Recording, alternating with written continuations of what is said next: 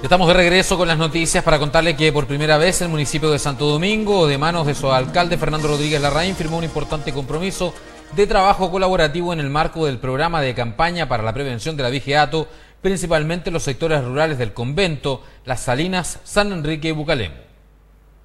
Se vienen las fiestas patrias y los delitos de vigiato se incrementan en estas fechas. Es por esto que se está desarrollando una iniciativa entre el municipio de Santo Domingo, Carabineros, Policía de Investigaciones, Servicio Agrícola Ganadero y la Brigada Investigadora de Delitos contra el Medio Ambiente y Patrimonio Cultural Metropolitana los que en conjunto trabajan por una parte en la prevención y el autocuidado con respecto al robo de ganado, contribuyendo así a mejorar la sensación de inseguridad en la comunidad y por sobre todo el aumento del mismo delito. Nosotros sabemos que eh, tenemos una gran cantidad de delitos de este tipo, pero también sabemos que no tenemos las denuncias, entonces también es una cooperación importante desde el punto de vista de ellos y por otra parte la municipalidad en coordinación con los mismos vecinos, con las policías, eh, con el servicio agrícola ganadero, trabajar para revertir y ir bajando esta, esta cantidad de delitos de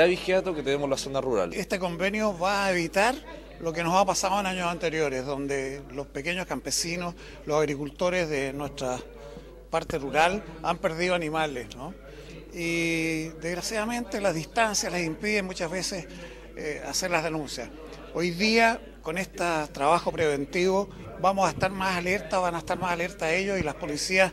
para prevenir estos delitos. la oportunidad, el jefe comunal Fernando Rodríguez Larraín, junto al prefecto de la Policía de Investigaciones de San Antonio, José Luis López y el capitán de la Subcomisaría de Carabineros de la Comuna Parque, Salvador Flores, se comprometieron a conformar una labor preventiva eficiente en torno a un tema tan sensible que afecta en su mayoría a la comunidad rural de Santo Domingo. Se concretiza en este, en este convenio firmado tanto por Carabineros como por la Policía de Investigaciones y el municipio, el Servicio Agrícola Ganadero, para trabajar mancomunadamente en el, proceso de la vigiato en esta, en esta provincia y fundamentalmente en estas fechas que son tan importantes como viene el 18 de septiembre, normalmente aumenta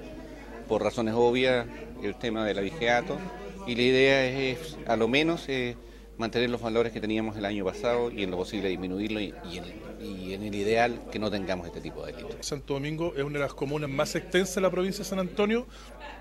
por ende, ¿no es cierto?, todos los beneficios que en ese sentido podamos tener eh, son bienvenidos. Y como te digo, agradecer, ¿no es cierto?, una vez más a la Municipalidad de,